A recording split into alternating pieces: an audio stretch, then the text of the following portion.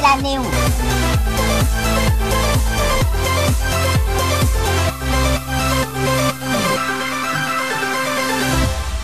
ร้อมสู้ศึกโอลิมปิกเกมกันแล้วล่ะค่ะสำหรับคุณพิพัฒน์รัตนกิจประการรัฐมนตรีว่าการกระทรวงการท่องเที่ยวและกีฬาพร้อมโดยดรก้องศักดิ์ยอดมณีผู้ว่าการการกีฬาแห่งประเทศไทย ผู้ช่วยศาสตราจารย์ภักดีมะนะเวศรองเลขาธิการกสทช สายงานจัดการกระจายเสียงและโทรทัศน์พลตรีจารึกอารีราชการัณย์คณะกรรมการโอลิมปิกแห่งประเทศไทยได้มีการร่วมกันแถลงข่าวการสนับสนุนการถ่ายทอดสดมหกรรมการกีฬาโอลิมปิกโตเกียว 2020 ภายใต้โครงการ Road to Tokyo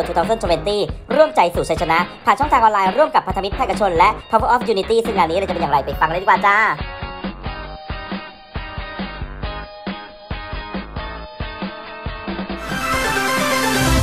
ครับก็งานครั้งนี้นะครับก็เป็นการแถลงข่าวร่วมกันนะครับเป็นมีท่านปรีพิพัฒน์รัชกิจประการท่านรัฐมนตรีว่าการกระทรวงการท่องเที่ยวและกีฬา เป็นประธานร่วมกับทางการกีฬานะครับแล้วก็กสทช ทางคณะกรรมการโอลิมปิกแห่งประเทศไทยนะครับและรวมถึงภาคเอกชนหลายหลายบริษัทที่ร่วมกันให้โครงการถ่ายทอดสดครั้งนี้ได้เกิดขึ้นนะครับ ก็ต้องขอเรียนนะครับว่าครั้งนี้เนี่ยจะเป็นครั้งประวัติศาสตร์ที่ประเทศไทยเนี่ยจะถ่ายทอดกีฬาโอลิมปิก ที่เรียกว่ากระจายไปให้กับผู้ชมเนี่ยได้มากที่สุด นะครับผมเรียนว่าการถ่ายทอดเนี่ยจะเป็นทั้ง 3 ช่องทางเลยนะครับช่องทางในการถ่ายทอดทางดิจิทัลทีวีนะครับก็จะมีบริษัทช่องทีวีต่างๆเนี่ยปัจจุบันเนี่ยมี 8 ช่องแล้วนะครับที่มาร่วมโครงการด้วยกันนะครับแล้วก็ช่องทางผ่านทางสื่อออนไลน์นะครับผ่านทางแอปของ AIS นะครับแล้วก็ช่องทางทางนอกนอกนอกบ้านนะครับก็คือสื่อนอกบ้าน นะครับก็จะมีอจอของพิกแบนแพลนบีนะครับที่จะเห็นอยู่ตามอาคารบ้านเรือนต่างๆนะครับก็ 3 ช่องทางนี้เนี่ยผมเชื่อว่าก็จะเป็นครั้งที่ประเทศไทยเนี่ย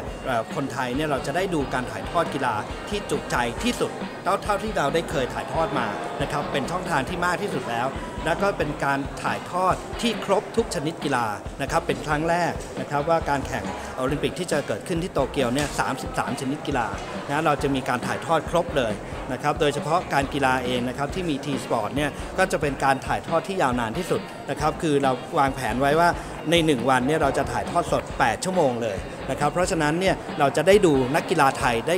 เล่นเนี่ยแน่นอนนะครับ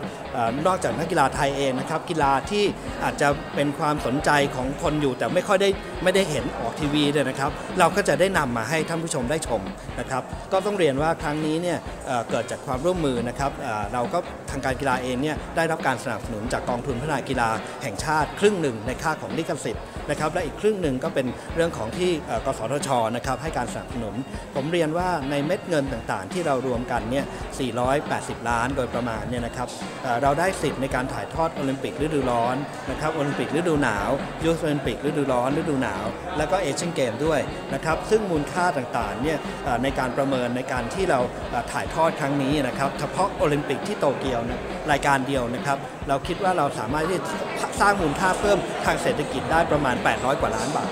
นะครับ8ถึง900 ล้านนะครับผมประมาณการประมาณนั้นนะครับเพราะฉะนั้นเนี่ยนอกจากมิติในการที่การถ่ายทอดครั้งนี้เนี่ยจะสร้างแรงบันดาลใจกระตุ้นเกิดกระแสการเล่นกีฬาการออกกำลังกายนะครับแล้วก็ยังสร้างเศรษฐกิจด้วยนะครับในมิติของการเสริมสร้างการออกกำลังกายนะครับ เราจะมีกิจกรรมนะฮะต่อเนื่องก่อนที่จะถึงการถ่ายทอดด้วยนะครับมีกิจกรรมการวิ่ง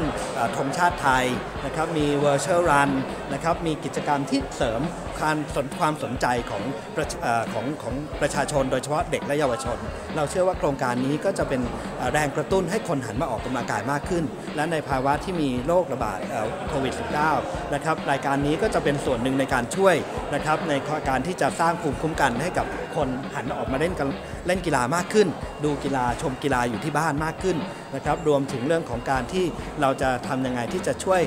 สร้างแรงบันดาลใจให้นักกีฬาที่ได้ผ่านคุริฟายไปแข่งเนี่ยเป็นไอดอลหรือว่าเป็นตัวอย่างให้เด็กๆนะปัจจุบันเราก็มีนักกีฬาที่ผ่านคุริฟายแล้วที่แน่ๆเนี่ยนะครับประมาณ 15-16 คน แต่ก็ยังมีที่ยังทะยอยคัดเลือกอยู่นะครับก็เชื่อว่าจะจำนวนจะเพิ่มมากขึ้นนะครับนักกีฬาเหล่านี้ก็จะมาร่วมโครงการกับเราด้วย จะมาเป็นนายแบบนางแบบมาโปรโมทกีฬานั้นๆ ให้น้องๆให้ประชาชนเนี่ยได้สนใจกีฬามากขึ้นครับมีมีบ้างต้องยอมรับว่ามีบ้างนะครับ เพราะว่าในบางชนิดกีฬาเนี่ยเราก็ต้องไปคัดเลือกอยู่ต่างประเทศนะครับมีบางชนิดกีฬายกตัวอย่างเลยวันนี้นะครับตอนช่วงบ่ายเนี่ยจะมีนักกีฬามวยนะครับซึ่งไปคุริฟายที่จอแดนนะครับและก็ประสบความสำเร็จได้ผ่านการคัดเลือกเนี่ยชาย 2 หญิง 2 รวมเป็น 4 คนนะครับนักกีฬาเหล่านี้เนี่ยก็เข้าใจสถานการณ์ดี แม้ว่าจะกลับมาจากประเทศที่ไม่ได้เป็นประเทศเสี่ยง แต่การไปร่วมแข่งระดับนั้นเนี่ยจะมีคนนักกีฬาจากทั่วโลกนะครับมีทั้งจีนทั้งเกาหลียุโรปต่างๆเนี่ยมาร่วมกัน นักกีฬาก็ยินดีที่จะให้ความร่วมมือ ในเราการกีฬาแห่งประเทศไทยก็ได้จัดพื้นที่นะครับที่ศูนย์ฝึกกีฬาโมกเหล็กเนี่ยซึ่งเหมาะกับการฝึกซ้อมกีฬาอยู่แล้วนะครับแยกออกมาต่างหากเราจะไม่ได้เป็นศูนย์ที่ไปกักกันไม่มีการกักกันนะครับแต่ว่าเป็นศูนย์ที่เฝ้าระวังดูแลและอำนวยความสะดวกให้กับนักกีฬา ทั้งในเรื่องของการฝึกซ้อม และเรื่องของอาหารการกินนะครับเราก็ได้ประสานนะครับกับ CP ซึ่งก็จะได้ส่งอาหารไปให้นักกีฬาได้อย่างเพียงพอนะครับในกีฬาอื่นๆ ก็เช่นเดียวกันนะครับเราก็เปิดเป็นทางเลือกว่าถ้านักกีฬามีความจำเป็นนะครับที่จะต้องอยู่ที่บ้าน ท่านก็จะเก็บตัวอยู่ที่บ้านนะครับไม่ออกไปไหน 14 วัน แต่ถ้าท่านที่มีความประสงค์นะครับที่จะเข้ามาอยู่ในโครงการ เรายินดีที่จะต้อนรับ และเรามีพื้นที่เผื่อเอาไว้ให้นักกีฬาที่จะกลับมาจากเมืองนอกหลายหลายชนิดกีฬาแล้วนะครับบางชนิดกีฬาก็ลำบากในการคุริฟายเพราะว่าในประเทศหลายประเทศที่เดิมเนี่ยกำหนดที่จะต้องไปแข่งในยุโรปบ้างในเมืองจีนบ้างเนี่ยก็ต้องเปลี่ยนนะครับเปลี่ยนโปรแกรมเปลี่ยนอะไรต่างๆ รวมถึงการฝึกซ้อมที่มีข้อจำกัดมากยิ่งขึ้น นะครับแต่ก็ทุกสมาคมก็มีความตั้งใจ แล้วก็สนับสนุนนะครับการกีฬาเองก็ช่วยเหลือทุกอย่างประสานความร่วมมือต่างๆ ให้ทุกภาคส่วน เพื่อให้นักกีฬาเราจะเตรียมการให้ดีที่สุดกันณปัจจุบันนะครับเราก็ต้องฟังจากโอลิมปิกนะครับทางญี่ปุ่นยังไม่ได้แถลงให้มีการเลื่อนนะครับ ก็ทุกอย่างเนี่ยก็ยังเป็นไปตามณปัจจุบันนะครับก็คือเราต้องมองว่ายังไม่เลื่อน นะครับแต่ว่าเหตุการณ์ต่างๆเนี่ยทางญี่ปุ่นคงก็ทราบดีนะครับแล้วก็ทางคณะการโอลิมปิกสากลเองก็กำลังมอนิเตอร์นะครับหรือว่าติดตามสถานการณ์อย่างใกล้ชิดนะครับเพราะฉะนั้นถ้ามีอะไรเปลี่ยนแปลงเนี่ยเราก็พร้อมที่จะมีแผนสำรองไว้เผื่อว่านะครับอย่างที่เป็นข่าวกันทุกท่านอาจจะทราบนะครับว่า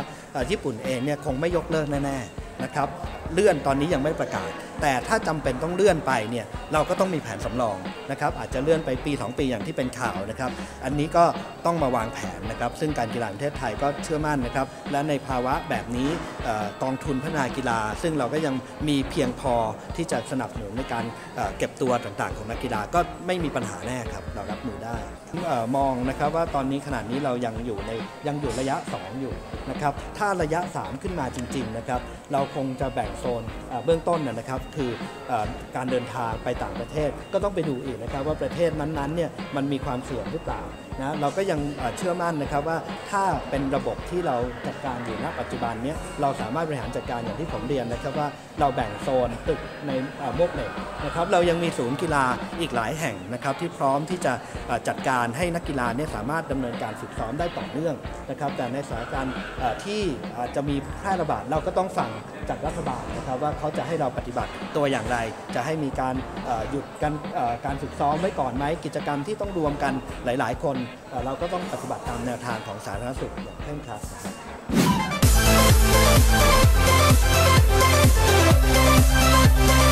ชั้นแปดไทยแลนด์นิว